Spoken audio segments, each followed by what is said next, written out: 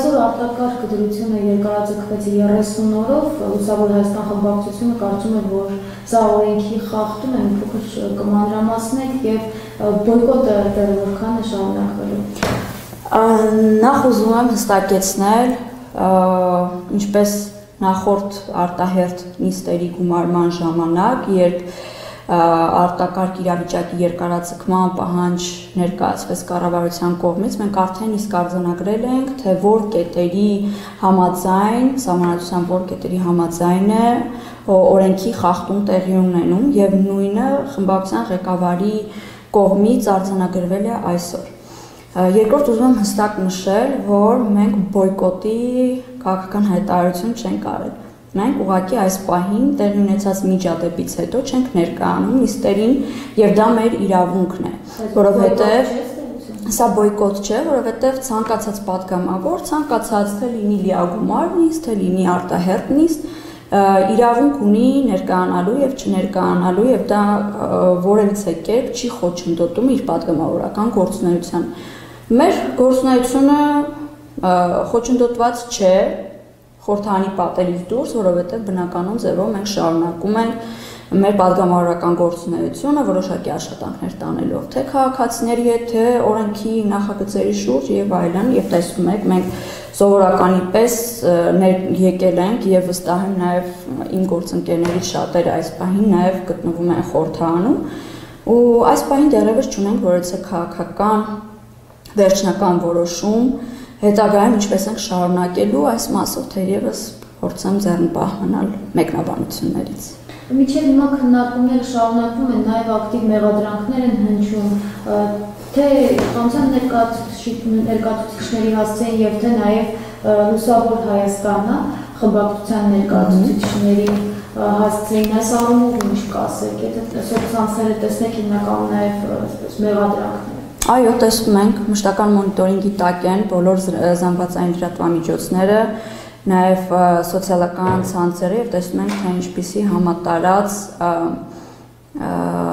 նեգատիվ մտնոլորտ է տիրում։ Եվ սա իրականում շատ վատ է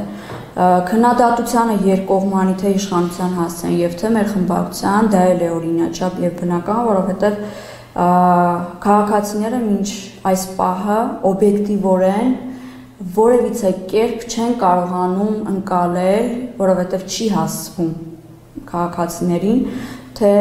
ինչի սկսվեց, ով սկսեց եւ ինչու այդպես եղավ։ Վարչապետ Փաշինյանն ասում է սադրանք։ Վարչապետ Փաշինյանը բոլորիս հայտնի է, որ ցանկացած ձև կարող է մեկնաբանել եւ դա շատ սուբյեկտիվ մեկնաբանություն է։ Մենք մեր այսպես ասեմ հույսը թողնում ենք եւ դնում ենք այն քաղաքացիների վրա, ովքեր որ իրականությունը կարողանում են ճիշտ գնահատել եւ օբյեկտիվորեն գնահատել եւ այդ քաղաքացիները քիչ չեն որովհետև մենք ամեն օր տարբեր նամակներ ենք չեմ ուզում ուզում զերծ մնալ հազարավոր ասելու, որովհետև այդ բառը լսելիս որոշակի շրջանակներ մի տեսակ ջղաձգվում են։ Շատ Այո, այո, իրականում իրականում հարագումարով եթե վերցնենք, այո, հազարների հասնում են եւ նամակները եւ զանգերը քաղաքացիների կողմից սատարման օժանդակության, այսպես հորդորներով, որ մենք ձեզ հետ ենք եւ այլն, այսինքն այն տրամադրությունները, որոնք ստեղծվում է սոցցանցերում, դա ամբողջ իրականությունը չէ։ Ռեալ կյանքում պատկերը մի փոքր այլ է եւ միջադեպի վերաբերյալ այս պահին, այսինքն այն ինչ որ մեկնաբանել ենք, արդեն մեկնաբանել ենք, եւ հայտարարությունները համապատասխան հնչել են, մենք էլ մեր կողմից ասել ենք, որ խորհրդարանում բնականon աշխատանքները շարունակելը կախված է իշխանության կողմից տրվող երաշխիքներից, որովհետեւ որևիցե կերպ մենք չենք կարող վստահ լինել, որ օրինակ եթե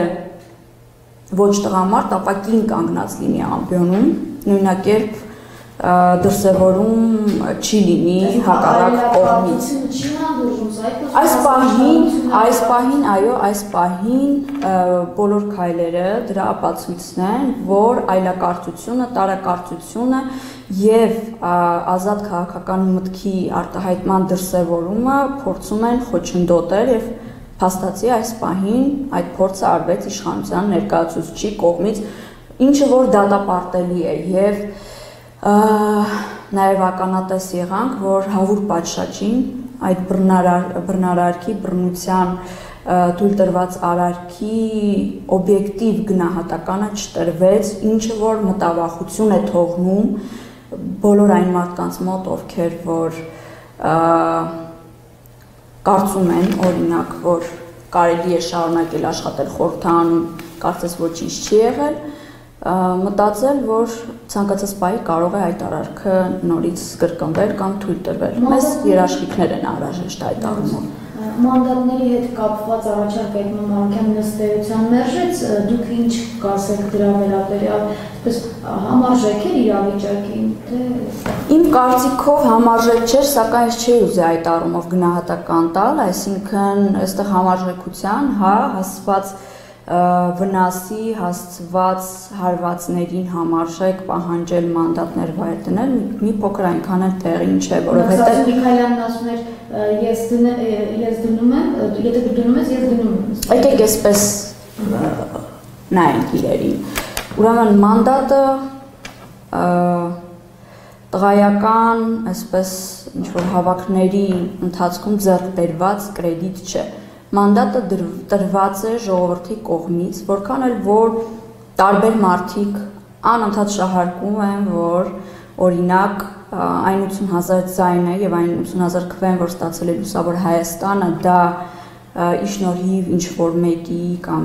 ինչ որ ուժի է, պես չէ, որովհետեւ քաղաքացիները ուզեն թե չուզեն պետք է ընդունեն տվել են քվե եւ մենք տերենք այդ քվեին եւ այդ մանդատը ըստ էության այդ քաղաքացիների որքան էլ որ ուզում է լինի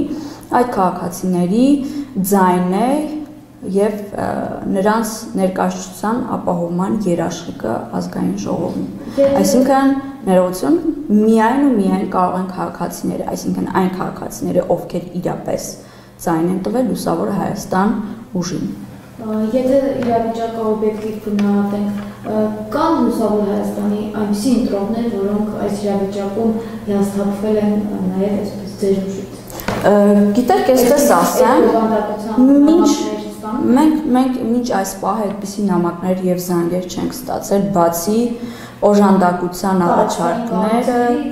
բոլորովին մենք այդպիսի չենք ստացել չենք արձանագրել այդպիսի որից է ազդակ մեր քաղաքացիների կողմից, իսկ սոցցանցերում հարյուրավոր այդպիսի մարդիկ կարող են գրել Ես նույնիսկ նամակներ եմ տեսնում, որ գրում են մենք ձեզ ձայն ենք տվել, բայց ես ավելի քան վստահ եմ, որ այդ մարդիկ նախ ուղղորդված են գրում, երկրորդը այն մարդիկ չեն, ովքեր որ իրապես ձայն են տվել լուսավոր Հայաստանին եւ մանդատ վայր դնելու պահանջ նորից եմ կրկնում բացառապես կարող է բարձրացնել եւ զանգվածային ձևով կարող է բարձրացնել միայն Հայաստանի Հանրապետության այն քաղաքացին, ով ձայն է տվել։ Եվ վերջին հարցը ինչպես է վերաբերում, երբ իշխանությունը բարբերաբար հիշեցնում է, թե երկու տարի առաջ ինչպեսի վարկագիծ է դրսևորել, ինչ հայտարարություն է կատարել Էդմոն Մանքեն, մենք տեսանք նաև Ալեն Սիմոնյանի հետ կապված, հա, այդ փոքր միջադեպը, որը տեղի ունեցավ։ Մի փոքր հստակեցում, որ հայտարարության մասին է խոսքը նկատի ունեք հեղափոխության օրերին։ Հեղափոխության օրերին նաև Ալեն Սիմոնյանի Գիտեք ինչ, շատ լավ է, որ բոլոր հայտարարությունները պահպանված են եւ մեդիան հիշում է ցանկացած դրսևորում քաղաքական ուժերի կողմից եւ քաղաքական գործիչների կողմից։